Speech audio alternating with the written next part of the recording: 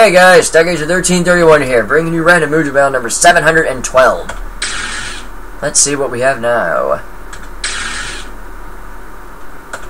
Ah, Rubeus. Haven't seen uh, Ru Ru Rubeus in a while. Okay. Ooh, oh my god, we have a we have a Sailor Moon duo on the left. Emerald and Rubeus against Mega Man and Link. This should be an interesting fight, guys.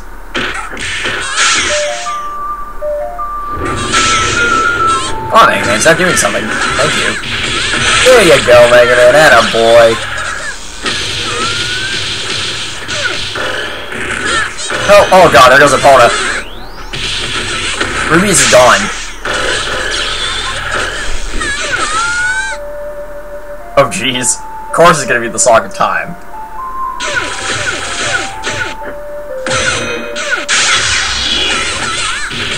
Unbelievable, a damn near flawless victory for Mega Man and Link in round one.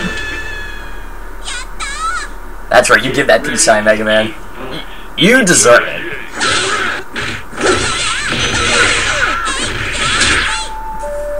Oh boy, song time.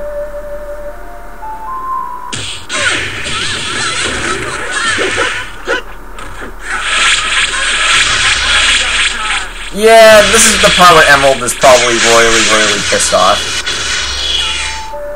Oh god, really? and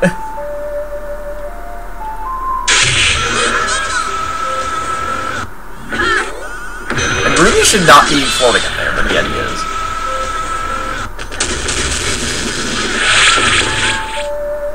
Look at the look on Mega Man when, he, when, he, when he's in that.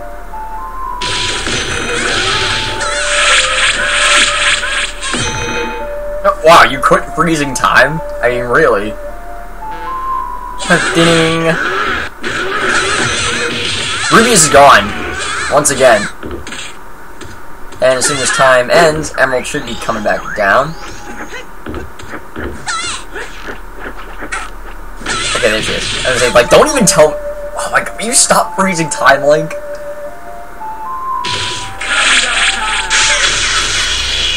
And there you go. Beautiful finish for Mega Man and Link. And a nice 2-0 victory over Rubeus and Emerald. Which for all intents and purposes is a pretty powerful duo. I mean, I actually, I'm telling you, believe me, if they had more opportunities to use their specials, Mega Man and Link would have been screwed pretty badly. But no, Me Me Mega Man and Link beat them to the punch, and as a result, they won that one. Jeez. Yeah, that, that, that right there was a good one. And that said, stay tuned for Random Mugen Battle number 713 coming up next. That said, I'll catch you guys later.